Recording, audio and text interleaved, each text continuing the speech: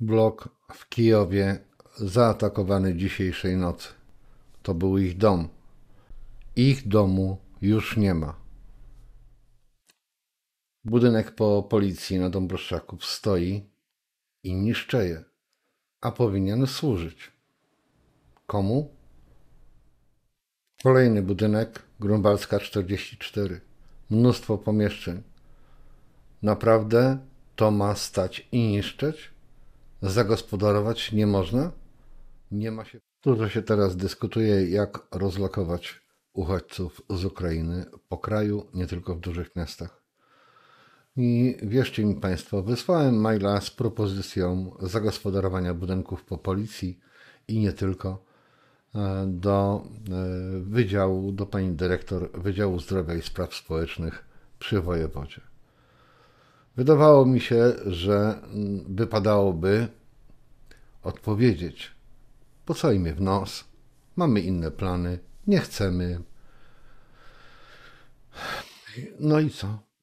I nic.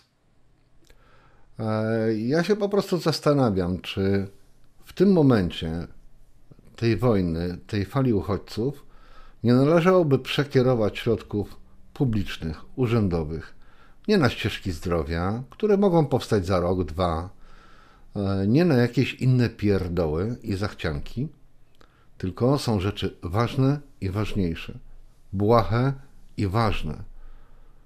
No skoro tak, to dlaczego wojewoda nie mógłby w trybie pilnym przekazać na przykład 2 milionów złotych, miliona złotych, nie wiem, to wszystko jest do gadania, na E, szybki remont e, budynku przy Grunwaldzkiej 44, e, dwóch budynków po policji i tak dalej, i tak dalej. Szukajmy.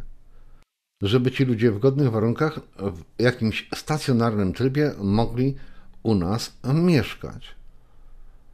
No, jeżeli jakaś stacja telewizyjna pokazuje, że w 7 dni można wyremontować dom jednorodzinny, jeżeli są pieniądze, są e, siły, e, które są zdolne to zrobić, to róbmy to. Przecież to jest nasz majątek, który może teraz posłużyć takiemu celowi, do jakiego jest nam potrzebny. A nie, nie możemy bazować tylko i wyłącznie na mieszkaniach prywatnych, na dobrej woli, na 40 zł od głowy e, dziennie i tak dalej, i tak dalej. To rodzi koszty. Tam to też będzie rodziło koszty ale to nasz majątek. To nasze mienie i dlaczego władze samorządowe nie naciskają we wszystkich miejscowościach w Polsce, żeby jakieś plany inwestycji strategicznych i tak dalej w tym momencie zrewidować. Co jest najbardziej nam potrzebne, a co może poczekać. Bo moim zdaniem wiele z nich może być odłożone na razie ad acta.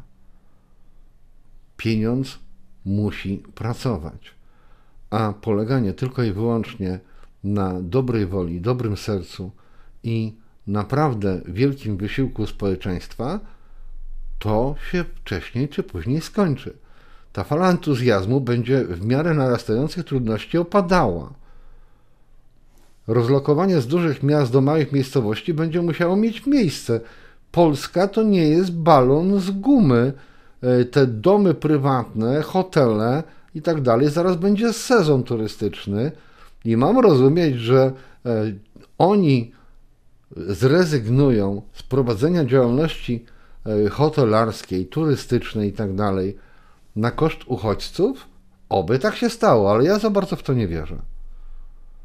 Więc nawet jeżeli to co stoi na przeszkodzie uruchomienia państwowych, publicznych pieniędzy właśnie na przystosowanie takich pustostanów i takich dużych budynków jak u nas?